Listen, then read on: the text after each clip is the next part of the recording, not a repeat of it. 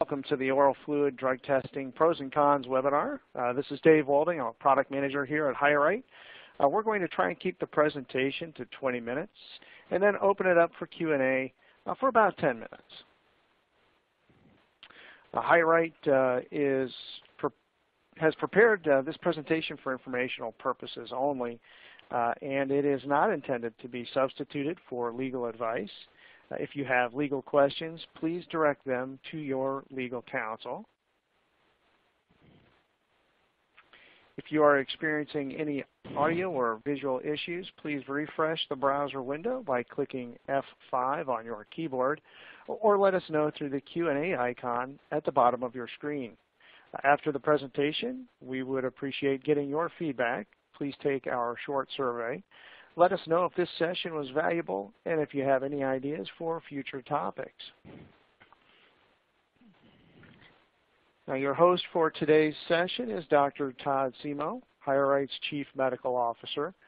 You can review Dr. Simo's bio in the speaker folder, and we encourage you to follow him on Twitter. I'll turn it over to Dr. Simo. Well, thank you very much, Dave. You know, it's my pleasure to spend this this time with you all today. Uh, talk about oral fluid as a specimen and, and really the pros and cons of this alternate specimen. So, you know, I'm always remiss that they they put my picture on because I always tell people I'm much better looking over the phone than I am in person. So again, somehow I'm going to have to change that picture beforehand. But, you know, what we're going to talk about today is really what is the ideal drug screening specimen? I get asked this question a lot. Well, what specimen should I use? So let's look at that. You know, let's look at what the ideal drug screening specimen is and why potentially urine is no longer as uh, effective as a specimen as it was in the past. Then we'll talk about oral fluids specifically in terms of pros, cons, windows of detection, what positive rates are out there that you're seeing within the industry, and then return on investment. I am going to, at, at the very conclusion, uh, talk about oral fluid and what's happening from the Department of Human Health Services and the Department of Transportation arena. So oral fluid in the upcoming uh, year or so will be an approved specimen for federally regulated testing. And then I'll make some final recommendations. So what's the ideal drug screening specimen? So back when, you know, at the beginning when people were talking about, well, let's drug screen uh, for risk mitigation, uh, since we all know that, you know, people who are illicit drug uh, screen users do cost us a considerable amount of money per year uh, based upon, you know, increased rates of workman comp injury, decreased productivity, and actually higher medical cost uh, expense. So when you look at the you know ideal specimen characteristics, the one thing you want to do is something that's easy to collect and easy to transport. So you don't want anything that is you know biohazard uh, that all of a sudden needs special handling to go you know to all of a sudden transfer it from the collection site to the to the laboratory for testing. Ideally, it has to be inexpensive to test. It has to be accurate. You know, we don't want to take, you know, punitive action against someone who, who doesn't deserve it. So again, accuracy is very, very important in this arena you do have to look for adequate detection windows. So, you know, if a specimen only detects drug use for, you know, a, a very, very brief period of time, and therefore you're never testing within the detection window, that specimen really isn't all that useful. Uh, and then the next thing is it's impossible to subvert. So, you know, there's no way to, so to speak, study or game for the test. So when we look at the late 1980s, it was really determined throughout industry and the drug testing arena that, that urine was this specimen. So if you ever wondered what a urine cup looks like from, you know, that is at collection sites every day, this is really just a picture of one. So from that perspective, Quest has been gracious enough, and I'm going to actually quote Quest, uh, Quest data quite, uh, quite a bit here because Quest is one of the major drug testing labs in the country. Every year posts the drug testing index that basically shows you know what they're seeing from a lab positive rate perspective within their urine program, within their you know oral fluid program, as well as their hair program. So again, this lab is really is leading the way with you know publishing publishing this data for people to, you know, to glean information from. So they started this, you know, looking at this back in 1988, where you see the positive rate was up near 14% in urine drug screen. So that's the laboratory positive rate. And you'd see year after year thereafter, it's just kind of fell. And now it's, you know, in the 4% range in 2014. So, you know, that begs the question, you know, it, you know, what's happening here? Are people just using less drugs in 2014 than they did in 1988? That's probably not the case. So why is your, the urine rate decreasing so much? So when you all of a sudden juxtapose that, you know, the Quest, you know, laboratory positive data in urine and actually compare it to the National Institute of Drug Addiction uh, publishes reports, and basically these are, you know, they go out and query um, large segments of the population and ask, hey, have you used drugs in the last 30 days? Have you used drugs in the last year? Have you used drugs in your lifetime? And essentially what I put here is, according to their last published report that gave 2014 data, that the, you know, the self-reported illicit drug use in the last month has been in the 9% range and is now over 10%. So it's actually increasing, whereas the urine positive rate during the same period of time has remained flat. So when the lines are diverging, you have to ask yourself, why is that happening? Well, one reason may be that you know people who are taking drug uh, screens have been the you know companies that are drug screening have deterred people who use drugs from even applying. So that's actually the best drug test out there, the one that you had spent no money on, and you realize the benefit uh, of someone not you know not seeking employment with you. However, subversion is also a big issue. And when I talk about subversion, this is really, uh, you know, in the urine arena, due to the specimen collection as a standard is not observed. Therefore, a person can go into the, you know, the collection site and do several different things to manipulate his or her urine to give a false negative result. And the ways that you manipulate urine are basically through adulteration. So there's actually commercially available products that you can dump into your urine and and that adulterant then potentially metabolizes the drugs in that urine, so they'll show up as negative at the lab. We'll change the physical parameters of the urine, so all of a sudden the drug screening equipment doesn't work properly. So that adulteration is when the donor places something in their urine to, to basically try to confuse the drug screening equipment or change the physical properties of their specimen. The next is uh, substitution. And substitution is the drug screening term for saying instead of giving their own urine, they gave something else. Now, whether that something else was someone else's urine, whether that something else was freeze-dried urine that they bought off the internet and reconstituted at the collection site and brought in, or whether they bought synthetic urine off the internet, um, or the last is they all of a sudden used Mountain Dew. But those type of things are, you know, they're substituting their specimen for something else. And the last is dilution. So with, you know, urine drug screening, as well as all drug screening, is really predicated upon a concentration level. And whatever you can do to dilute that specimen, the more chance you are to be negative. So these are the people that drink extraordinarily amount of water, use over-the-counter diuretic medicines, which basically force more free water into their urine. And there's actually some prescription medications that actually lead to normally dilute samples. So, you know, oral fluid is a drug screening specimen. It was really developed there. Um, late 80s through the 90s, uh, the lab that led the way is now part of uh, Quest Diagnostics, which was LabOne in Lenexa, Kansas. Uh, you know, led the way. And when you look at the characteristics of an ideal specimen, how does oral fluid, you know, match up to that? So is it easy to collect and transport? And it is. Uh, oral fluid as a uh, specimen is actually collected by the donor themselves, but collect essentially just watches the donor swab his or her own mouth and then watches the donor put it in the preservative and then they seal that specimen. So the collector is really there just to to watch uh, you know watch the person collect their own specimen. So and, and it is at a very inexpensive price point if you don't have a collection site involved. If you as a company are willing to collect that specimen, so to speak, yourself.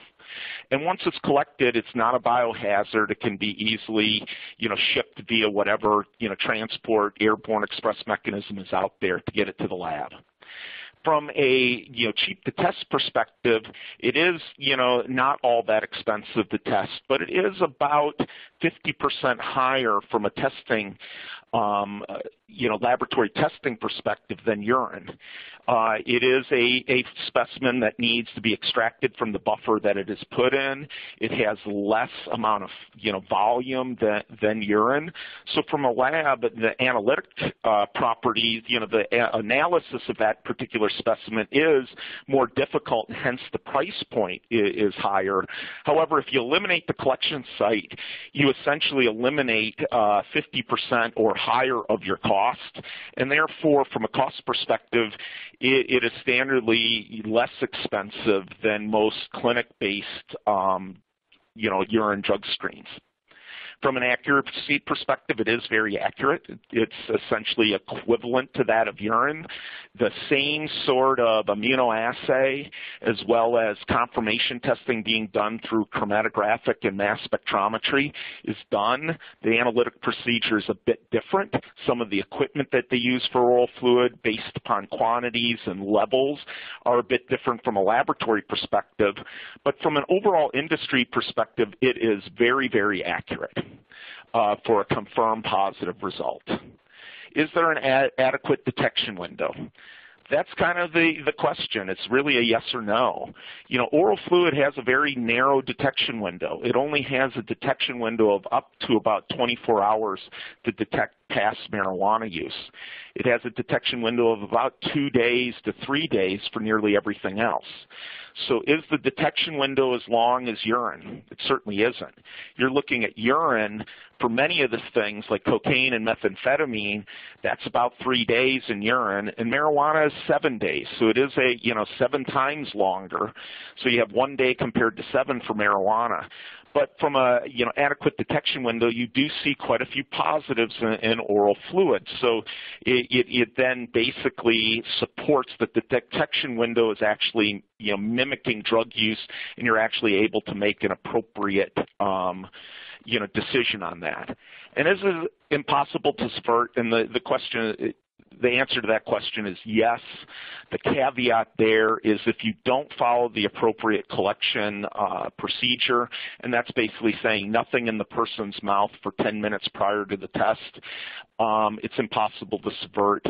Uh, if you all of a sudden have a you know, oral fluid donor that takes a big gulp of water right before you put the swab, you know, they put the swab in their mouth, the swab will then suck up all the water and won't truly get oral fluid, and then you'll end up generating a you know, invalid result at the lab because the lab will basically say there was really no oral fluid, you know, within the, that specimen. And your MRO in those circumstances would be reporting to you, reporting to you that that's a test canceled. So, you know, from oral fluid, you know, its big strength is really temporal relationship to use. So, you know, oral fluid is an analog to serum, which means essentially what appears in oral fluid is what appears within the blood at that period of time.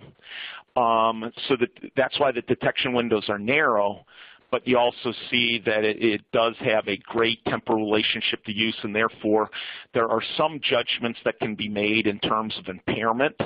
Um, and, and, that's always, you know, something that a lot of, you know, employers are looking for when they're making derogatory decisions, you know, based upon, you know, a workman compensation claim or, or something like that. It is not easily subverted. You know, there's really no way that you can subvert that specimen. You cannot have your wife spit in your mouth and you go to the collection site and get a, spe- a specimen. You know, if your wife does that, you will essentially, you know, um, dissolve that oral fluid, digest that her oral fluid within 10 minutes, and have your own oral fluid available. So therefore, there's really no subversion. You can't buy synthetic oral fluid over the, you know, over the counter off the internet and get that in, and all of a sudden have that available. It the way oral fluid works is just not possible. And then, you know, it can be collected, it, uh, you know, without a whole lot of icky factor. You know, it's essentially like watching someone brush their teeth. Um, the weaknesses are that it does have a higher cost from a laboratory perspective, and it does have a much higher cost if you all of a sudden want to use a, a collection network, like a local clinic, uh, to collect your specimen, because clinics generally will charge you the same rate for oral fluid collection as they do for urine, and that will massively change the price point. And one of its weaknesses, it does have a relatively, you know, the smallest detection window for marijuana, less less than 24 hours.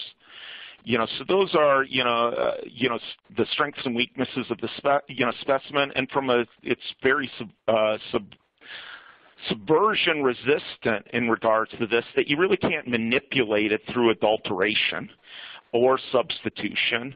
And really, dilution isn't really a factor with this. So it's very uh, subversion resistant. So again, the detection windows we talked about before, you're looking at oral fluid is about two days. And with you know urine drug testing, it can go out to, for the standard five panel drugs, out to about seven days. So there is that difference. So when you look at the Quest data compared to the self-reported drug use data, and then you layer in the Quest data on oral fluid, you basically see, as we talked about before, the self-reported drug use is on the incline.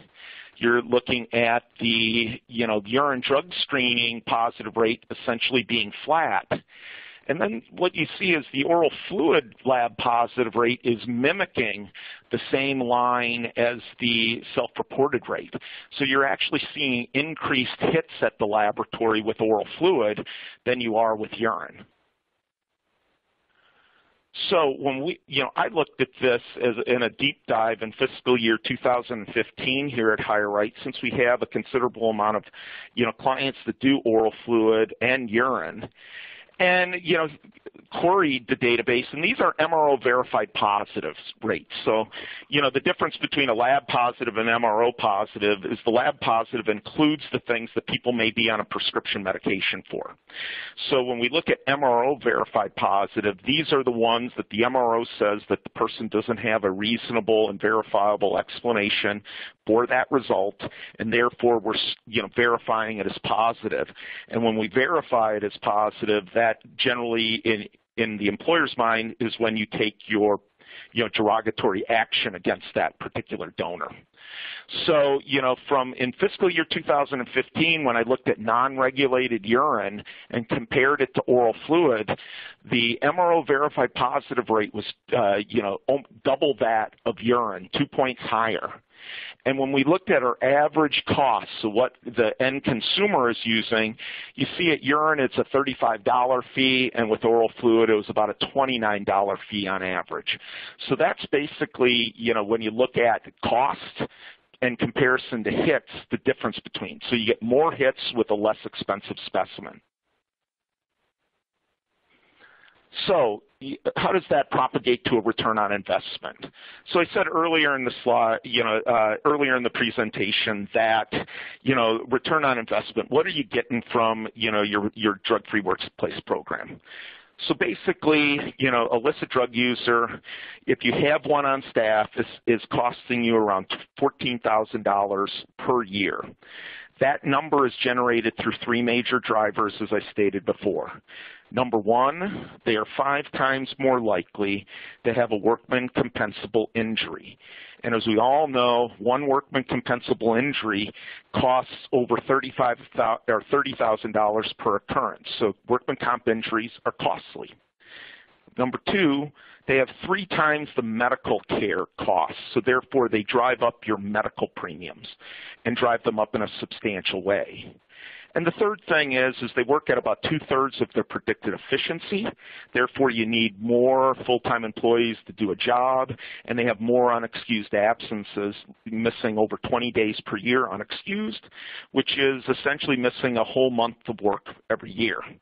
So when you take those three factors together, blend them up, and apply them across all the different, you know, industries and, and personnel based upon U.S. Department of Labor statistic, the Bureau of Labor statistics, um, you know, NIDA statistics, and a variety of other government entities and researchers, you get that $14,000 per year. So when you apply that across about a thousand drug screens a year. So you as a company does a thousand drug screens a year uh, in this scenario. If you're using urine for those thousand drug screens, you're going to spend $35,000. You're going to get 2.2% of them uh, uh, reported to you as you know positive, and therefore when you take that you know uh, you know 22 positive drug screens and apply the $14,000, you end up getting $308,000 that you save. And then when you back off costs from, you know, return, you get that return on investment of $273. Well, when you look at it in, in the, the next arena for oral fluid, you spend 29000 to save 560000 and your return on investment is about double that of urine at 531,000. So you're looking a less expensive, uh, you know, specimen has a much higher hit rate, and that much higher hit rate generates a higher return on investment. So, you know, that's the big utility of oral fluid specimens. If you all of a sudden look at it, you know, you get a better return on investment, and you actually get a, a huge return on investment per dollar spent. So from a DOT perspective, what's happening? So from you know 2012, the Substance Abuse and Mental Health Services Administration has been you know writing rules to to adopt oral fluid as a federally regulated specimen. According to my last conversation with the Office of Drug and Alcohol Program Compliance at DOT, they believe that rule will be published sometime in calendar year 2017 you know, this revision is really part of a, a overarching revision that it will add some additional opiates uh, to the test panel, so it'll still be a five-panel test. But the opiate panel, instead of just including codeine, morphine, and heroin metabolite, will also include testing for oxycodone, oxymorphone, hydrocodone, and hydromorphone. But oral fluid, it will also then be approved for as a DOT specimen because uh, SAMHSA uh, believes that oral fluid is, you know, as accurate as as urine and therefore can be used in the federal testing arena. So going to the final recommendation. You know, if you haven't evaluated, you know, oral fluid testing, this may be your opportunity to go out there and look at it. You know, you do have, you know, a variety of, you know, it does return a large return on investment. It does have a higher hit rate. And with a higher hit rate, it does have an increased deterrent effect. And, and that's, again, as I said before, the best drug screen you ever do is the one that you never do because people are deterred from coming, you know, who are using uh, illicit drugs are deterred from seeking employment with you. Um, you know, from this, you know, perspective, you as a company, you do have to evaluate being your own collector and really watching the person collect their own specimen because when you do use a collection site, you can do that. It just changes your price point and some of that return on investment does diminish there and again, you know, oral fluid testing is, you know, uh, a more advanced. So it's a little bit different between a 1990 TB and a 2016 TB. Not saying that urine is bad. There's certainly, you know, programs that urine is the best specimen. But you really, you know, if you haven't looked at oral fluid recently, I would encourage you to do so. So, you know, that really gets uh, us to the, the Q&A portion of this presentation. So I will turn it over to Dave uh, to give some of the questions. All right, sounds good. Thanks, Dr. Simo. So, hey, we've had some lively, uh, not exactly discussion, but a number of questions coming in, um, and we'll jump uh, jump to those. Feel free to use the, uh, I think it's the Q&A button, and send us a question. Um, uh, real quick, some housekeeping notes. Uh, Sharon, if you're able to speak, maybe you can help me address some of these. Uh, two questions. One, uh, we're getting a common question asking if the presentation will be sent uh, to the attendees following, uh, Sharon just told me she can't speak. So if you could tell me the answer, Sharon, will the presentation be sent to attendees following the discussion? okay, thank you. Uh, only if asked for presentation. All right. I'll, I'll, let you I, can't totally decipher what you're saying, Sharon, but uh, yeah, Dave, Dave uh, being part of these before, uh, you know, if someone would like a copy of this uh, presentation or be able to get a link to to listen to it again, uh, you know, just send an inquiry uh, to us, and we'll be happy to do that. furthermore, any questions that I don't answer in the remaining time, you know, I will provide an answer, and then that will be routed back to you. So please give me about a week to get any of the questions questions that we don't answer, uh, you know, back to you. So again, we appreciate all questions. Yeah, thanks. Thanks, Dr. Simo. And Sharon did uh, did clarify if you ask uh, during the presentation uh, for the presentation, so send us a Q&A uh, question. We'll be sure to get the presentation, uh, the slideshow out to you. So Dr. Simo, um, you know, the questions that have come in uh, in, in kind of a lively discussion has been around uh, faking or adulterating the, the oral sample. Um, one of the questions, so I've got a question here from sorry, they're they're scrolling my screen pretty quickly. So Linda, Jolene, and Nanette are asking about uh, uh, adulterating. Um, Jolene asks about uh, oral clear gum. Does it does it work? Uh, does it uh, does it rid? Uh, does it work sure, to rid I can go through that. saliva for 30 minutes? No, so certainly there's a lot of you know different you know gums. There's some mouthwashes out there that are commercially sold to to beat the oral you know fluid drug screen. In my experience, I haven't uh, noticed any of those actually impacting it in, in any real way. And in fact, many times people who have an oral fluid drug test will ask for a copy of their report because many of those you know so to speak products will give you a money back rebate if you, so to speak, don't pass your drug test. Now, if you the one way, you know, if you're in that industry, you know, it's not such a bad industry to be in. You get, you know, spearmint gum, you mark it up uh, 500 times, you sell it for $50, and then you tell people, chew this gum and don't use drugs for three days guess what? You basically gave gave them a negative drug screen, and the gum was basically something to occupy your mind during that period of time, because the oral fluid window is is shorter. Plus, when you have that type of markup, to all of a sudden, you know, kick back the 50 bucks minus the shipping and handling. Again, it's not a bad business to be in. But uh, from that perspective, there's there's really none of those commercially available adulterants that I've seen work in the oral fluid environment. Great, thanks. Uh, Dr. Simo, do you think oral testing uh, or urine testing is more effective overall uh, for uh, particular industries, let's say contractors? And this is a question from Annette. No, so you know which one's more effective? Well, guess what? Based upon the data, I would have to say oral fluid's more effective. You get a higher hit rate. You get a higher MRO verified positive rate. So from an effectiveness perspective, it's more effective.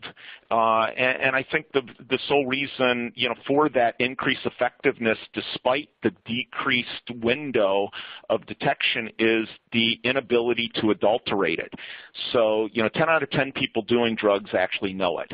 Um, they don't. They know they're using an illicit drug and they're trying to beat the test all of a sudden with oral fluid, it's hard for them to, so to speak, beat the test. And, and, due to their addiction pattern, they are using on a daily basis. Therefore, they fall within that detection window.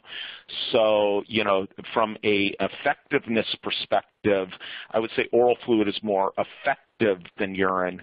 When I get the question of accuracy, accuracy is another question. Accuracy has to go to is the test that you finally get valid or not, and both of them are, uh, you know, essentially considered equivalents in that arena. They're both using the same kind of uh, methods to screen and then confirm the specimen. So therefore, I would say both are equally accurate, but oral fluid is more effective because you'll get an increased hit rate. Okay, great, thanks. So Christina and uh, Laura and a few others are asking about the process for collecting the sample and how quick is the turnaround time. So is it instant? Uh, can it be done on site? Okay, so certainly, and I will take this as the last question and we'll field all the rest of them as I discussed before. So laboratory-based oral fluid specimens are actually, you know, our, our oral fluid testing is actually done through a laboratory, so it is collected on site. That collection process takes around two to five minutes, um, you know, and you're essentially watching the person swab their own mouth to get enough uh, you know, oral fluid on, on, so to speak, the collection device. Many of the newer devices actually have um, the, the device turns a, a, a, certain color on the tip of the device to show there's, there's adequate amount of oral fluid.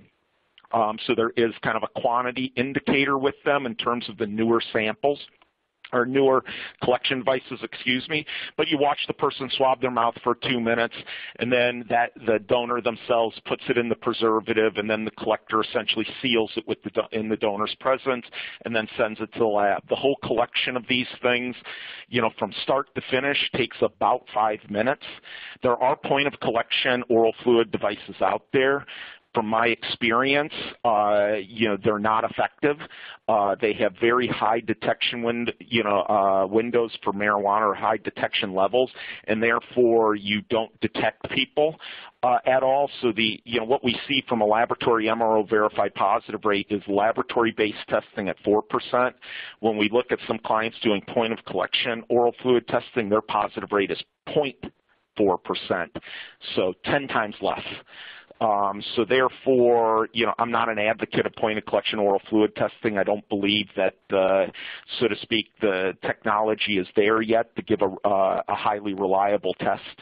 Um, yeah, and I'm a big advocate for, for laboratory-based oral fluid testing. And the turnaround time, since the analytic process is a little more challenging to the lab, is about two days. When we see urine testing, it's about a day for a negative result. For oral fluid testing, it's about two days to get the negative result back. All right.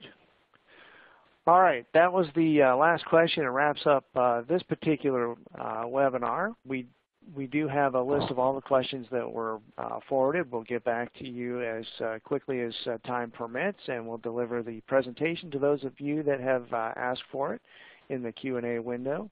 Uh, we really appreciate your time today. Um, let me advance the slide. Uh, no, it's as far as it goes.